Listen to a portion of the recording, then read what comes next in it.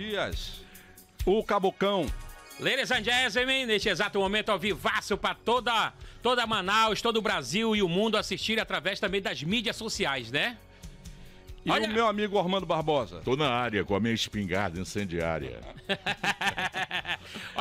Compadre Armando Barbosa, eu tô vendo o nosso amigo Iel todo pancoso, todo no paletó. Pois é, Será rapaz. que é por causa do nosso convidado que está aqui, rapaz, presente? O cara tá mais bonito do que enterro de coronel. Rapaz. Veja só, veja só o que o cidadão fala. Tá dizendo que eu tô puxando seu saco já. Então, vamos mudar esse negócio. Já que vamos ficar tá mais à vontade, rapaz. Aqui é só alegria. Recebendo... Entramos hoje diferente, né? Entramos hoje diferente. Exatamente, exatamente, meu compadre El. Mas nós estamos recebendo hoje aqui uma visita especial que eu acho que o nosso telespectador, que nos deu ontem uma audiência fantástica na nossa estreia, Amém. vai gostar de ouvir o que ele tem para dizer para vocês. E a gente vai conversar com ele da mesma forma que a gente conversou com o Natan ontem aqui. Exatamente. Nós vamos tratar aqui dos assuntos que tem que ser tratados, mas nós vamos tratar também dos assuntos mais leves, né? Porque afinal de contas, o povo está meio chateado, é tudo muito caro, etc. A gente, se a gente for falar aqui só tudo de Tudo acontecendo ao mesmo tempo, pois né, é, aí não dá pra gente, é complicado. Né, também maltratar mais o povo. Mas antes eu queria pedir do nosso diretor porque o pessoal agora vai lembrar, quem é mais velho e quem é mais novo também vai conhecer agora. Tem um VT aí, diretor? Tem um VTzinho de uma música, que é uma música que lembra muito do nosso convidado de hoje. Então eu queria que o nosso, o nosso pessoal aí, o nosso diretor, colocasse esse VT pra gente dar uma olhada aí. Coloca aí pra gente esse VT que vocês têm aí. Vamos lá, desse jingle. Em ritmo de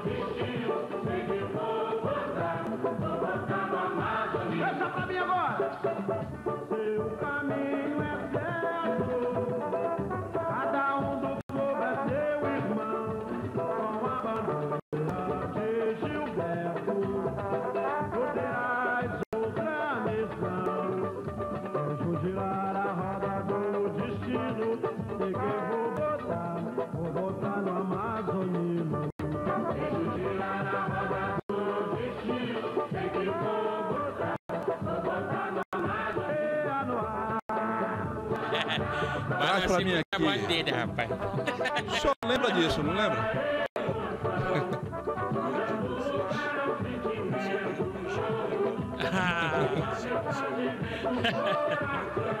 Isso é 1986?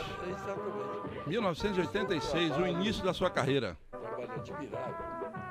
Na época jovem, né? O Abraim Alema.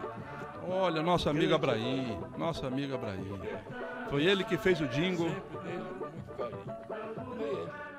Então nós estamos recordando aqui. Pessoal, estamos aqui com o Amazonino Vamos Mendes. aplaudir, minha gente! A galera de aqui- casa curtindo ao vivaço. Estamos aqui com quatro vezes governador do Amazonas, três vezes prefeito de Manaus, Trabalha em todo o foi estado do senador da Amazonas, né? República também, né?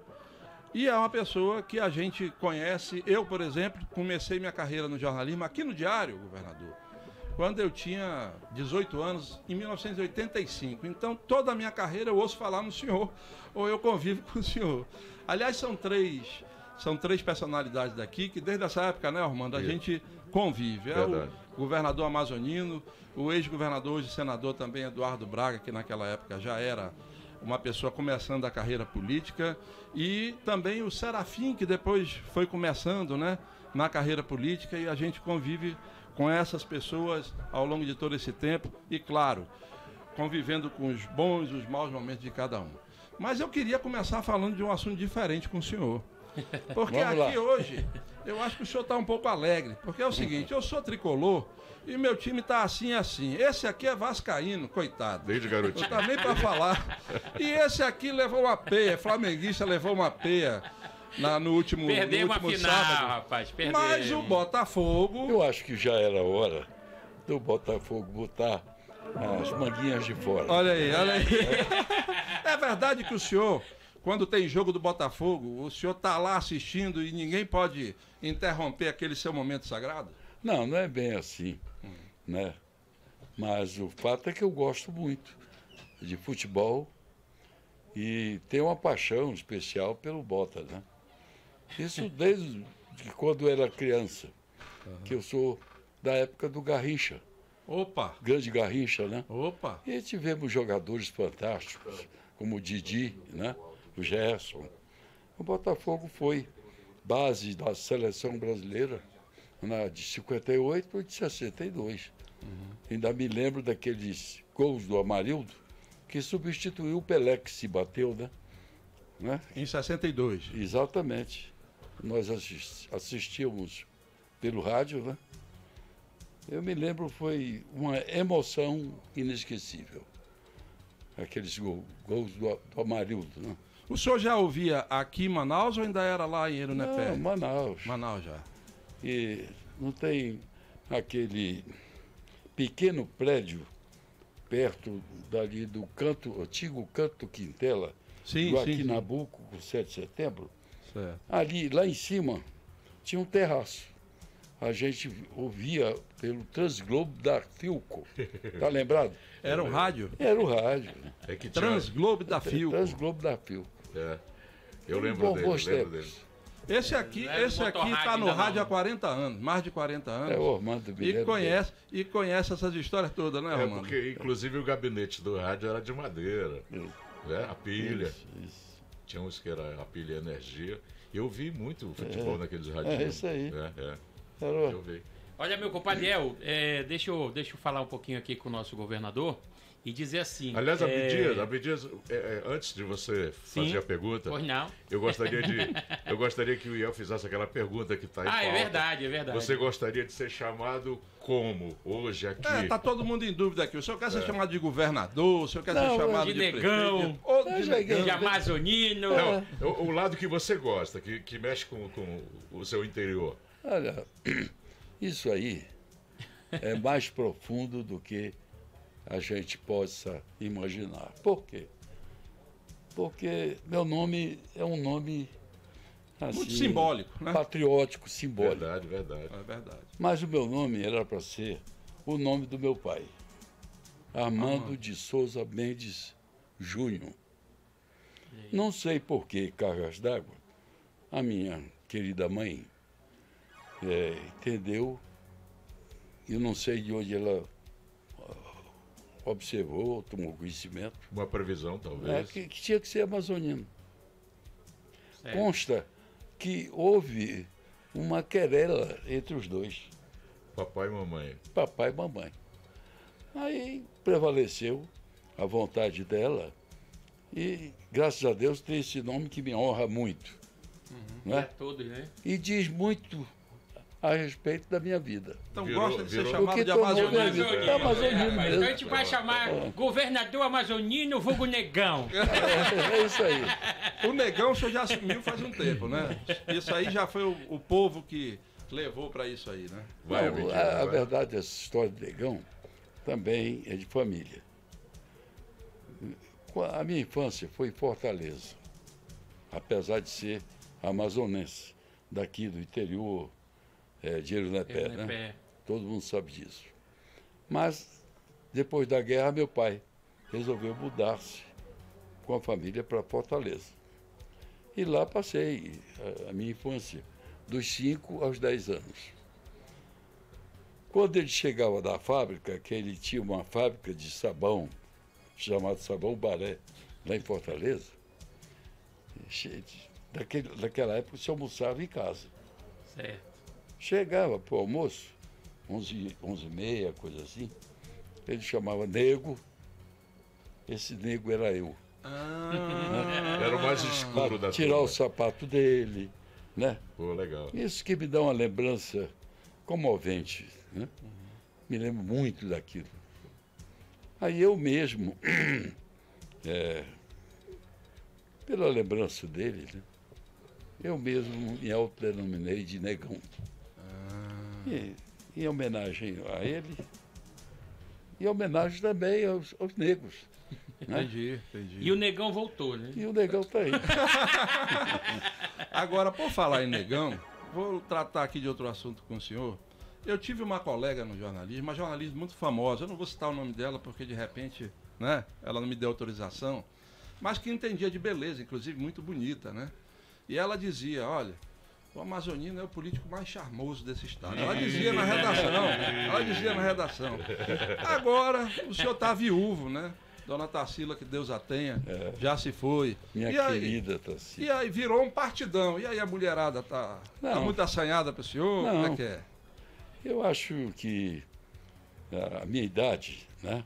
é, se porventura despertar alguma coisa, a minha, a minha idade é uma barreira. Né? Confesso que não é para mim. Para mim não é barreira. Pois é, olha aí. É olha até um aí. vexame que eu tenho que me policiar de vez em quando. Mas é, a natureza, é, Deus foi pródigo comigo, né? sou agradecido.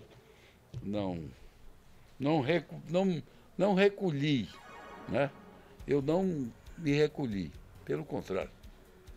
É, mas isso tem limites também Claro. que a gente observa, sobretudo a minha situação, né? É, sou um homem público, não é? Não Então tem posso, que, ter, ser, que ser não discreto. posso dar vazão. né? Eu tenho que andar na linha. Tá Pois certo. é, aí o linha, senhor- o senhor- o trem pode descarrilhar É e aí, aí. já viu, né? Iel, é, é, como sou parintinense, né, a gente tem um orgulho muito grande do nosso bombódromo em Parintins, construído aqui pelo governador, né, e aonde acontece o maior espetáculo a céu aberto, né? E o pessoal fica me perguntando, e aí, como que o governador tosse? Tosse pra quem? Pro caprichoso ou pro garantido lá em Parintins? Olha, isso é uma dolorosa questão. Isso porque cada um depende do outro. É verdade. Só existe esse Essa rivalidade. rivalidade, né? E o próprio festival, E né? esse amor, esse carinho e tudo mais, dada a rivalidade, né? De um um contra o outro. Os dois se completam. É Um não pode viver sem o outro. o yin e o yang, né? É. É exatamente Verdade. isso. Azul e vermelho é o Exatamente. encontro, né? É. Mas tem uma música do Garantido que eu queria tirar essa curiosidade Essa, eu já senhor sei aqui. o que é. É lenda. É lenda? É, lenda. É, é lenda. Vermelho não, não se refere ao Não, senhor? é, é verdade, a minha aproximação com o Chico, Que gosta muito do senhor, já que é disse um, isso várias na minha vezes. opinião, é um gênio. Botafoguense também. É. Vai estar aqui, vai estar aqui. o É, E um Chico gênio. da Silva, queremos, Queremos você, você aqui. Ele é um gêniozinho. É, É mesmo, verdade. Nós vimos a propósito de, de, de Parintins para Manaus, num barco, juntos. Conversamos bastante. Na oportunidade, eu fiz ver o Chico da minha preocupação com a questão ecológica já naquele, naquela época. É, e eu ti- tinha feito um discurso no Senado que eu chamei de genocídio caboclo, baseado num fato Lembro desse discurso. De desse discurso. todo mundo tinha seu padrinho, seu defensor, mas havia um fato concreto, histórico, que era a existência do caboclo. Não é? E o caboclo absolutamente isolado e desamparado, ignorado por todos. Eu tinha acabado de fazer, um, criar um projeto para ajudar o caboclo, tirar o remo, dar o motor para ele. Eu também queria tirar o machado, a escravidão do machado. Né? Pela motosserra, o mundo desabou. Verdade. O senhor recebeu crítica A verdade, foi lado naquela e era a questão ecológica, Sim. que injustamente nos acusaram de derrubar a floresta. Na verdade, quem o caboclo usava e usa a motosserra não para tirar madeira, não é isso. Ele usa para fazer a casinha dele, o Canoa. roçado, a canoa, é para sobreviver. Tanto que, na oportunidade, a estatística manteve-se uniforme. Ela Desmatamento não aumentou. nada, zero. né? mas impediram do caboclo ter acesso à tecnologia. Isso me revolta. E me revoltou. Fruto de quê? Do desconhecimento, da ignorância. Né? E muita gente também, é, como existe hoje, se aproveitava disso para constituir interesses não revelados. Né? Que existem, sabe que existe isso.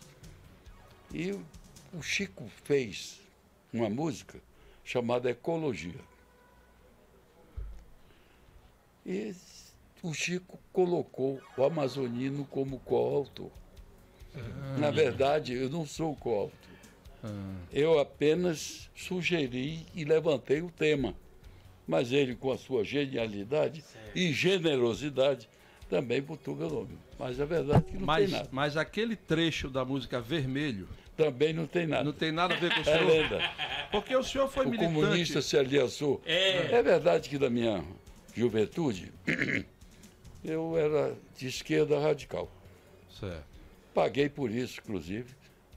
Pouca gente sabe, mas eu fui preso, recolhido à prisão em 64, com o famoso golpe militar, para alguns outros quartelada, para outros, mas revolução. nada mais nada menos que revolução. Eu respeito o conceito de todos, né? não é problema, mas eu paguei quatro meses de prisão. Foi terrível, eu já estava casado, meu filho nasceu 12 dias depois que me liberaram, e eu não tinha absolutamente nada onde me apoiar. Eu tinha que levar o leite para a criança. Era, era, o Armandinho? O querido Armando. É. E, então, era uma aventura. Cada dia, para mim, era um dia. Eu tinha que resolver. E o leite que eu tinha que comprar para ele era o Pelargon. Era um leite especial. Talvez por isso eu tenha feito o programa leite do meu filho. Uhum. Porque eu sei qual é a luta de um pai para levar o leite. Principalmente se a criança foi prematura e, e precisa de uma lactação diferenciada. Ruel. Mas eu, então, só para só completar só esse assunto, fechar, o... como, como é que o senhor se define hoje? Já que o senhor falou que da sua juventude o senhor foi esquerda radical. Como é que o amazonino se define hoje politicamente? Bom, eu acho que qualquer rotulação é um equívoco. Qualquer radicalismo, seja a direita ou a esquerda, é um equívoco. Não é? Entendo que o mundo está se tateando, se procurando ainda. Entendo que o nosso sistema o democrático, que todo mundo elogia, é cheio de defeitos né? Você vê que o dinheiro aqui impera. Né? É uma mentira a gente dizer que a gente vive uma situação democrática ideal. Na é verdade, né? o nosso, sobretudo os países em desenvolvimento, eu acho que eles ainda não se encontraram em termos de um regime é, de fato equilibrado que ajude o país a crescer. Ainda há pouco estavam discutindo sobre a eficácia da nossa Constituição, que ela é analítica, né? ela é excessivamente democrática. Acho que está errado. Ela está errada. Né? É, os principais constitucionalistas no mundo, eles optam pelas constituições enxutas, a exemplo da americana, que até hoje está aí. Né? Com pouquíssimas emendas. Pouquíssimos artigos e emendas. Nós não, nós temos uma Bíblia né? é, gigantesca, é, analítica para todos, é, excessiva, né? Eu acho o nosso Congresso dá muito a desejar, muita gente é, se sente é, insegura neste país não em termos de segurança física, mas econômica, que é outro lado terrível de um país desgovernado. Não? Então nós temos é, o Cetrão aí que parece um buraco negro, aspirando o dinheiro do país. Não? Isso é verdade. Agora mesmo, desculpe eu estar falando ainda, mas Fica à vontade, o senhor está à é vontade. uma coisa complicadíssima nos dá conta de que o Supremo não é, pediu para que se explicitasse o chamado orçamento secreto. E o Congresso está ignorando a decisão do Supremo. Já foi aprovado, inclusive. É, a que ponto nós chegamos?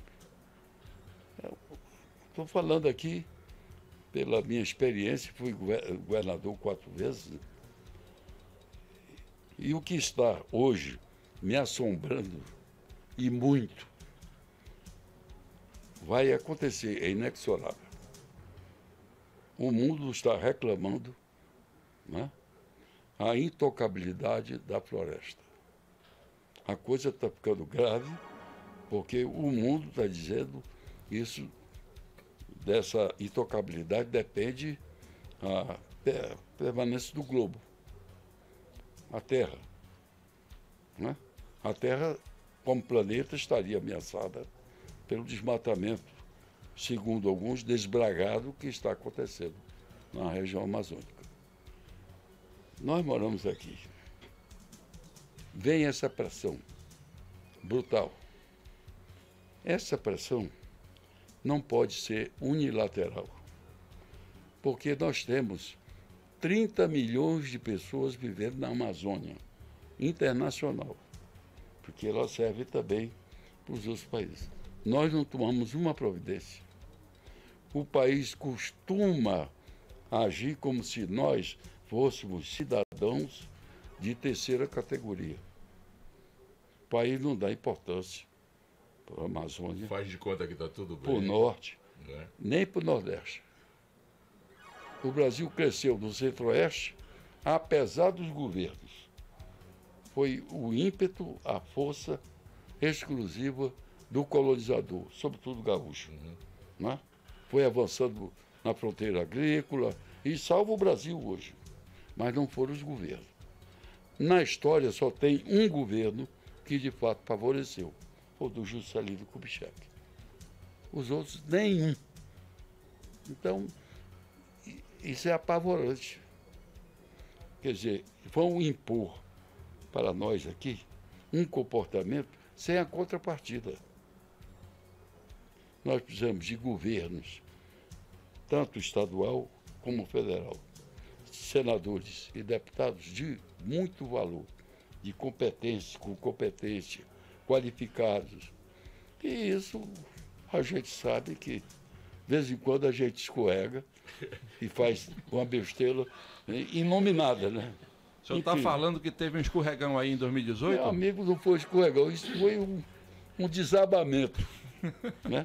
O pessoal fala que queimada já existia desde os anos 70, 80, né? Isso E- muito antes. É, muito antes. Sempre houve É isso. parecido com o Lulu Santos, né? Já queimava desde essa época, só que agora que o pessoal começaram a reclamar. Bom, eu vou, vou chamar um intervalo aqui, vou ter que chamar um intervalo, porque nós estamos chegando aqui na metade do nosso programa, que está muito legal. Está passando porque nós estamos aqui recebendo uma aula aqui, né? Então eu vou chamar esse intervalo agora e daqui a pouco a gente volta, porque o Armando de- tem uma pergunta que eu acho que Tem, né, ficou. meia dúzia. Então faça a pergunta que a gente vai para o intervalo, na volta Tá, o, ele o responde. ele responde. Vai lá, Responde. vai, vai. Esse negócio de descascar Tucumã pra você, do seu barraco lá, do Tarumã, isso é, é lenda? Lenda, Ou- lenda. Vou responder logo. Vamos faturar! Tem várias lendas, mas nós vamos falar de Tucumã na volta assim. Vamos lá, sim, vamos sim. vamos pro intervalo e na volta abelha. a gente vai falar de Tucumã. Voltamos já, voltamos Vambora, já. vamos faturar!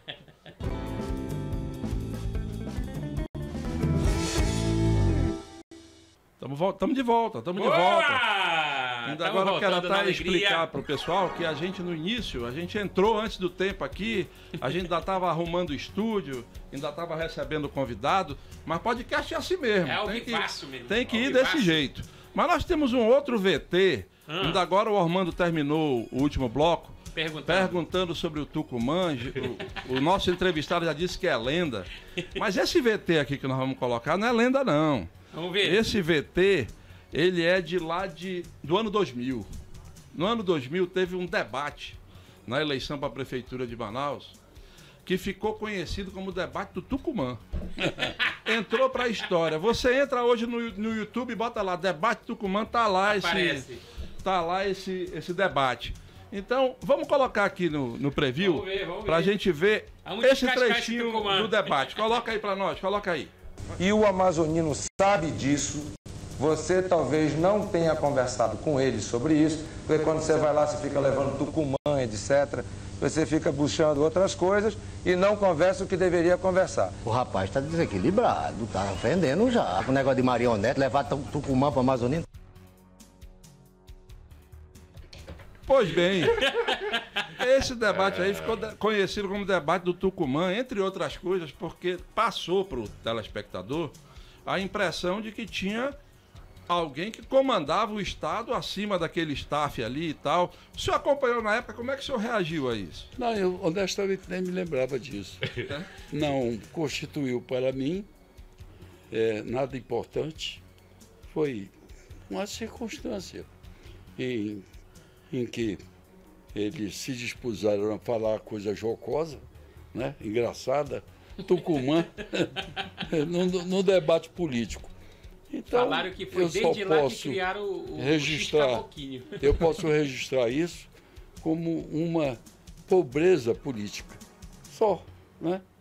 É, falando com seriedade, né? Agora, do ponto de vista da gozação, é uma delícia, né? Tem uma pergunta aqui do- dos internautas perguntando qual filho que o senhor mais gosta. Se é do, do Dudu, né, o Eduardo, ou se é do Almar ou do Alfredo. Qual filho que você ama mais? Do- da pessoa que está perguntando. Olha Aquilo que eu mais gosto. Um Todos abraço são aí. meus filhos. Você é um. Pronto. Agora, por falar nisso, o senhor sempre se referiu a uma figura política com um carinho especial. É o Gilberto. Gilberto Mestrinho. Isso é verdade. O que, que o Gilberto representou para o senhor? Gilberto povoa a, minha vida, né? desde a juventude. Quando ele foi governador a primeira vez, eu tinha acesso direto. Eu era uma criança, mas eu tinha acesso direto ao palácio. Eu ia lá todo dia, conversava com ele. O- Ele permitia que aquela criança discutisse com ele, por exemplo, quando ele resolveu apoiar o Plínio, que estavam brigados, para sucedê-lo. Não é? Eu tive uma posição contrária, porque eu era líder estudantil. E o Gilberto era um sábio. Antes de, de mais nada, ele era sábio. Então, ele acolhia aquele menino com seriedade. E o que, que ele incutia em mim? Com esse comportamento. Respeito e admiração. E ajudou muito na minha formação. Ele foi praticamente banido, né? Passou 18 anos longe do seu povo, de sua gente. Aí ele voltou como candidato com anistia, né? Ele ficou tão impressionado que quando ele me designou para ser prefeito, e eu fiz o primeiro pronto-socorro real do Estado. naquele 28 de tempo. agosto. 28 de agosto. Foi ele que botou o nome, o- a data. Porque 28 de agosto foi a data da anistia. Que o trouxe de volta ao aconchego do seu povo, né? Ganhou numa um- uma forma estrondosa, uma votação, eu acho que foi a maior vo- votação, uma votação consagradora, sobretudo em Manaus. né? Então, Gilberto, para mim, é tudo isso. Né? Ele, e eu lamento muito, porque Eu tive também uma oportunidade, né, que eu até não gostaria de me reportar e de falar, em que eu deixei de apoiá-lo. Fiz aquilo em nome do Estado, da modernidade do Estado. E eu errei. Deveria tê-lo apoiado, tanto do ponto de vista é, pessoal. O senhor está falando de 2002? Na sua saída ali do, Exatamente. do governo? Exatamente. Quando o senhor apoia o Eduardo Errei. e o Gilberto foi candidato. Errei. Porque, no fundo, eu queria é, a modernidade. Mas o Gilberto era segurança da aplicação dos recursos públicos. Falavam mal do Gilberto, mas ele era muito zeloso com os recursos públicos. Não é? Ah, além de ser um excelente financista, não é? ele, ele guardava os recursos públicos de forma assim, quase que religiosa. Era generoso, era bom. Não é? Talvez pela generosidade excessiva dele, ele tenha provocado tantos comentários indignos a propósito. Não é? O pes- pessoal achava que, como a prodigalidade dele, o pessoal achava que aquilo era recurso público. Não era. Era dele. Ele se despojou do que ele ganhou. Sofreu muito também com, a, com o golpe, né? Foi muito humilhado e tal. Eu acho que tem que estar na nossa história assim como o ápice. O melhor homem que nós tivemos no processo político. Deixa eu, deixa eu lhe fazer uma pergunta. É, essa pandemia que aconteceu em todo o Brasil, todo o mundo, né? A gente perdeu várias pessoas queridas, principalmente aqui no Amazonas, né? Em Parintins. Eu perdi meu pai, né? Infelizmente a minha família toda chora até hoje, sofre. Está fazendo 10 meses aí de falecido. Perdemos meu maestro, meu tecladista Patrick Teclas, devido à incompetência de um governador corrupto que está aí no poder. Né? Para mim, me causa uma revolta muito grande. Sofro até hoje porque foi uma perda muito é, grandiosa para minha família, porque meu pai ele era o esteio de tudo, era ele que é, fazia essa família andar. Então, para todas essas famílias que estão aí sofrendo, chorando, a perda de alguém, eu queria que, se o senhor tem alguma palavra para dar para esse povo que sofre até hoje com a perda de algum ente querido. Claro que eu tenho. Eu respeito muito esse seu sentimento, que infelizmente graçou em muitos lares, em muitas famílias. De um lado. Do outro é forçoso reconhecer que houve uma ironia do destino. Eu estava no governo recuperando o Estado, com a minha experiência, com a minha vivência, com a minha história. Eu dei para o Estado aqui uma universidade, um legado de obras gigantesco. Fiz coisas simbólicas importantes né, para esse Estado e coisas concretas. Né? É, aí o povo é, resolveu votar numa figura desconhecida, né? no interior do Pará, que nunca tinha feito nada, administrado nada, salvo se exibir na televisão com um anão. E foi fruto de um golpe arquitetado por um, uma pessoa da imprensa. Né? E que estava preparando para enganar o povo numa candidatura para a prefeitura. Aí, ao perceber que o povo, como todo o Brasil, não era só aqui, queria novo, coisa nova, nos empurrou. E quis o destino que esta pessoa inexperiente, né, incapaz, né, Tá na prática, né? que não tinha nenhuma relação conosco, né, não tinha vínculo. Era um cara de fora. No- Normal, meus avós eram de fora. Uhum. Se não tivesse, eles não tivessem sido bem recebidos, eu não existiria. Aqui também, né? Então a gente respeita as pessoas de fora, mas, sobretudo, as pessoas que vêm compartilhar conosco, não nos enganar. Essas ninguém gostaria de ter aqui. Né? E aí o povo se enganou. Ele assumiu o governo e, infelizmente, Tá aí, né? veio essa pandemia, essa desgraça terrível, infernizou o mundo. E aqui nós fomos campeões da desgraça em muitos momentos. O país mercê de um governo inepto, incapaz e irresponsável. Né? E muitos dizem corrupto, como você acabou de, de colocar. Né? Eu manero aqui a minha língua, entende?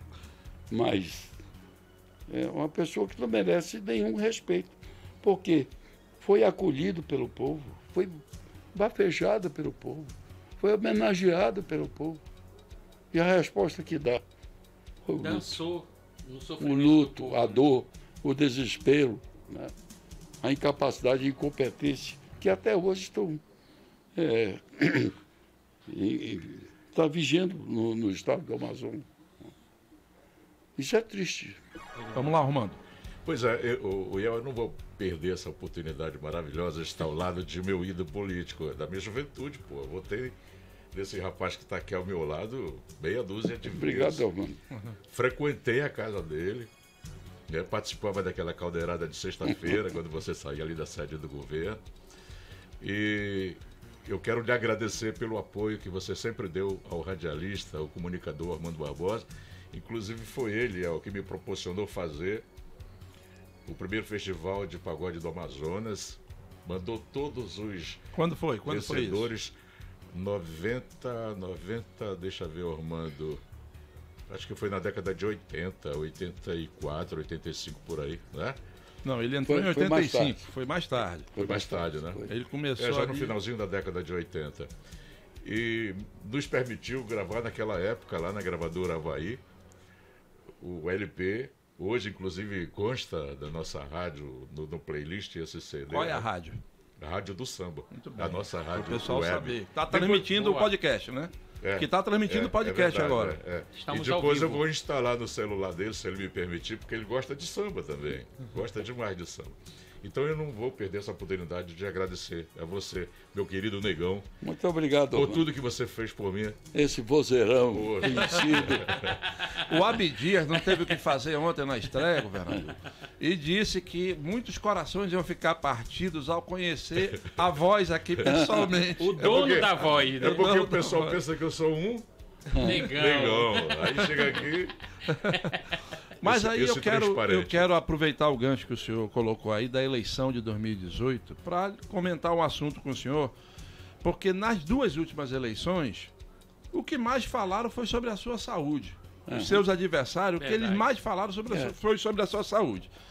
E a gente está vendo aí, o Paulinho, que está aqui, Paulo Castro, meu amigo Paulo Castro, está publicando aí de vez em quando os vídeos. Já viu o senhor andando na Feira da Aparecida lá conversando com o pessoal. Já viu o senhor tomando uma cervejinha. O cara que tá ruim de, de saúde, no máximo toma um vinhozinho. Uma cerveja eu acho bem difícil, né?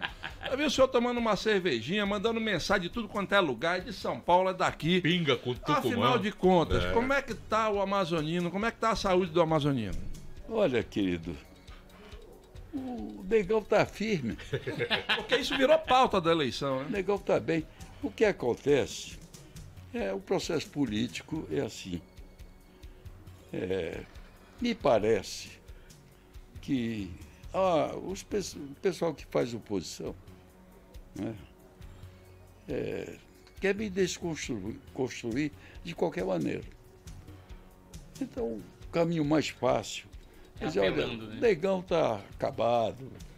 O negão Tá correndo com o freio de não mão tem puxado. condição. Pelo contrário. Eu nunca estive tão bem. Não diria a saúde. A saúde está boa. Tá namorando. Mas a cabeça. A cabeça nunca esteve tão preparada para assumir o governo. Eu sou talvez o cara mais consciente eh, com relação aos os problemas que o Estado enfrenta e vai enfrentar ainda. Esse governador foi, é um desastre Total. as consequências desse governo incompetente e inoperante vão ser terríveis. Porque o país também está né, navegando mal. O país está mergulhando num abismo. Isso vai se refletir. Tem a questão ambiental, que está se agudizando no mundo. Olha, o quadro é complicado. Se a gente bobear de novo, não sei se a gente vai encontrar um caminho, pelo menos é, uma, numa data mais próxima, de recuperação. Então eu estou entendendo que o senhor está lançando sua pré-candidatura ao governo aqui, não? Não é, todo mundo já sabe. Então isso aí está Eu- assumido. Eu, eu sou candidato ao governo por uma razão muito simples. né? Quando o mel é bom, a abelha sempre volta. né? Também é bom. Isso é, é importante, mas o que é sério realmente é esse meu jeitão. Eu devo muito ao Estado. O Estado, não acredito que. Eu não vejo nenhum amazonense que tenha sido tão homenageado pelo povo como eu. Isso é uma generosidade fantástica. Né? E eu me sinto devedor. Ora, tudo que eu acumulei, meu conhecimento, eu sei do que a besteira que foi feita, o prejuízo que acarretou ao Estado. Não é? Então eu tenho, que eu sei que eu posso restaurar, recuperar, né?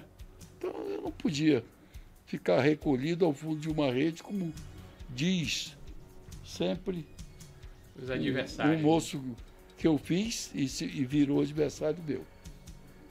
Né? Então a minha atitude é nobre. Meu sentimento é nobre. Meu pensamento é nobre.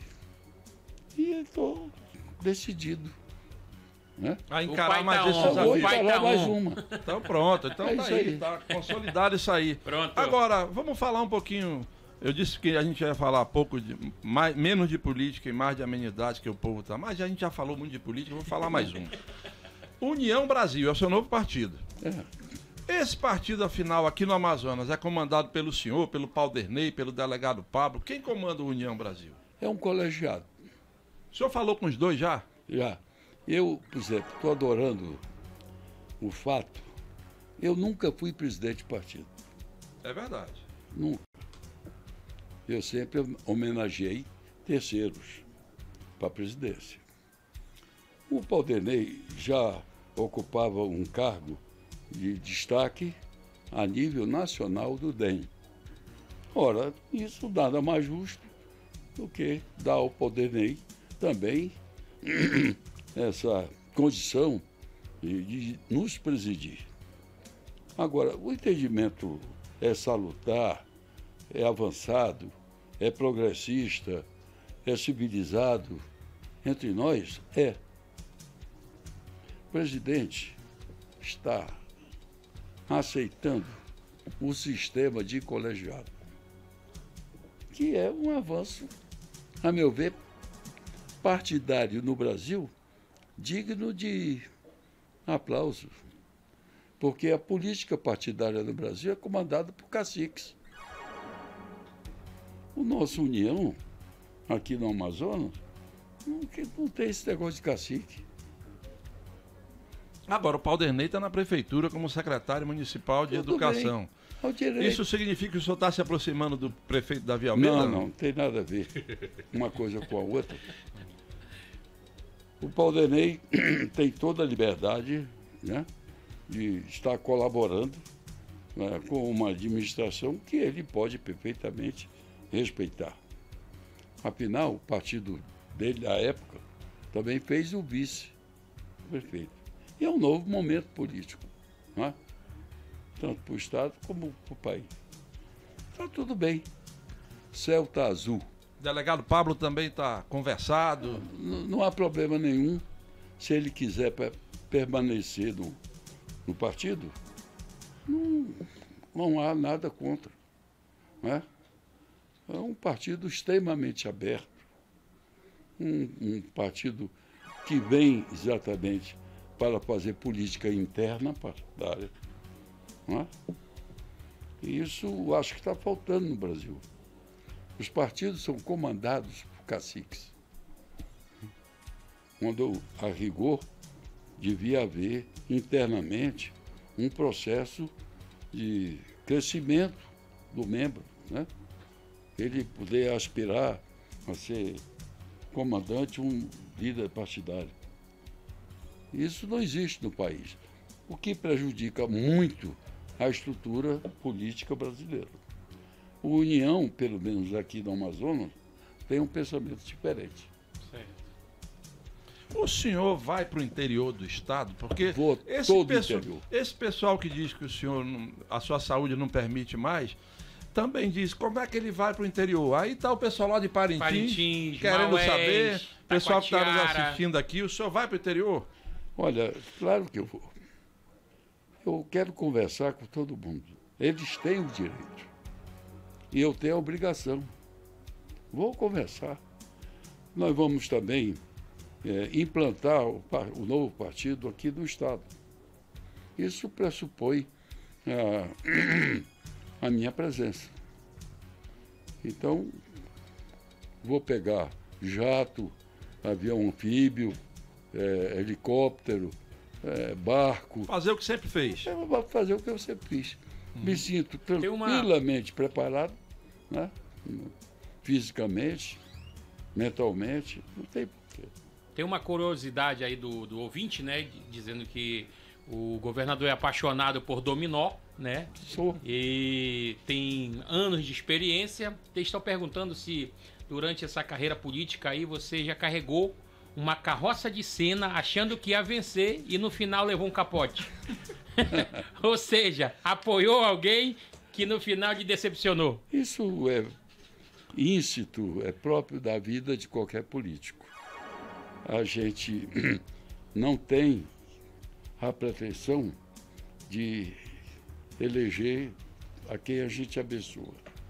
A gente ajuda, luta, né? mas ninguém é dono do poder. E muita gente, muitas vezes a gente dá com a cara na parede, né? Isso acontece. Durante a sua vida é, é de, do político. de lazer, nas horas de folga, que é muito difícil na vida de uma pessoa como você, já rolou uma lisa no dominó? Eu já. Eu já peguei várias. Não foi uma nem duas, não. Foram, foram muitas. E já foi objeto de muita gozação. Né? Porque o dominó tem isso. É verdade. né? Ele é saudável porque ele provoca as pessoas. né? Mas uma lisa, vou. É, Poucos jogadores de dominó assumem que já levaram liso, né? É verdade. Todos já levaram, mas assumir, ninguém assume. Todos não. É, você já levou. eu já dei trem, mas nunca levei. Nunca levei. já peguei muita lisa. É? Não foi uma. Mas não. é por causa do Várias. adversário, às vezes, né? Ou é naipe? Não, é, é, é como viver. A gente respira. É. está vivendo, mas a gente está sujeito a tudo na vida. O jogo dominó também não tem bom, não. É. Mas o bom perdedor Não é tem. aquele que quando leva a lisa, sai da mesa. Né? Uns não sai da mesa. Eu já acho que o bom perdedor é aquele que perde e se lasca mesmo. Entendeu? Esse é que é o bom perdedor. Para encerrar a minha participação, o tempo já está na reta final. Ne- nesses intervalos onde você saiu do governo, ficou em casa, viajando, curtindo mais a família, você sentiu falta das amizades, falsas amizades? A gente sente. É, eu não consigo viver fora desse métier político. Parece que eu estou no outro planeta. Tá na veia, né? É, isso faz parte da minha vida. Eu, se- eu sempre disse eu sou político e vou morrer político. Meu nome, né? A briga da minha mãe para me dar o nome. Há muitas circunstâncias né, interessantes. Quando eu estava interno, eu me lembro que um padre cantava Amazonino Mendes, uma musiquinha é, parecida com a do Severiano Nunes, que foi candidato a governo há muito tempo atrás. E ele cantava a, a- a música com o meu nome e falava para governo estadual. Olha aí. É, houve muitas sinalizações na vida meio estranhas e que coincidiam com o meu futuro político. Legal. Então isso para mim tem até um fundo místico, né? que eu não me aventuro mais aí além exatamente por esse aspecto. Tem algum tipo de aliança que o senhor não quer fazer agora nessa eleição do Tem. ano que vem? Tem. Qual? Eu me reservo a ficar calado. Mas o critério, o critério Como se vai- fosse a terceira emenda americana. a verdade, há pessoas que eu acho que são extremamente prejudiciais ao Estado. Me repugna, então, uma eventual aliança. Só uma aliança só para ajudar a ganhar uma eleição, a qualquer custo, não me parece uma coisa deglutível, não é? Então, estou firme nesse sentido. E qual o senhor acha que seja o perfil ideal do próximo senador do Amazonas, por exemplo? Que isso pode nos indicar quem é que o senhor pretende apoiar. Continuo me louvando na terceira emenda, porque isso é uma tarefa muito complicada. O Amazonas está precisando, e muito. As razões, inclusive, cheguei a expor. Mas não tenho ainda um convencimento que eu gostaria de ter e render mi- minhas homenagens, a minha- as minhas esperanças. Né? Oxalá aconteça. Vamos ver. Vamos embora, Iel. Então bora, está terminando o nosso programa. E Olha que maravilha. rápido? Passou rápido uma hora aqui. aqui. Tratamos Valeu, de valeu. tudo que a gente De queria tudo tratar. que o né? povo Não ficou- perguntou, a gente fez aqui a pergunta. Não ficou ele nada sobrando, ele respondeu, respondeu. né? Que é o mais E o pe- importante. pessoal dizendo que ele não responde. Ele respondeu. E o pai tá on. e o pai tá onde a gente quer agradecer a sua presença aqui. Ah, não, vocês foram muito amáveis, brincalhões, que isso é ótimo. Pô, legal, né? legal. Legal, Nesse momento de angústia, tristeza, de expectativa, muitas vezes negativa, né? Porque nós estamos passando, não apenas local, mas a nível do país. Né? E quero deixar aqui o meu estímulo para que esse programa se, multiplique. Pô, legal. Obrigado, Boa. obrigado, obrigado. Sensacional, obrigado. E Um abraço, gente. Amanhã a gente volta. E a Valeu, gente está sempre valeu. aberto aqui para a sua presença. É. Gostamos muito também. E um grande abraço a todos. Boa noite. Lembrando que a gente transmitiu esse programa aqui em todas as redes da Rede Diário, Record Certo. News e também no Diário do Amazonas e do D24AM. Transmitimos na Rádio do Samba, Rádio do Samba. transmitimos nos perfis do Abdias o Cabocão o Cabocão, E- Instagram, Facebook, YouTube. e transmitimos no meu humilde blog do iellevi.com.br. Um grande abraço a todos e até E amanhã até com breve, mais uma presença. Amazoniano. Valeu! Um abração, Feliz.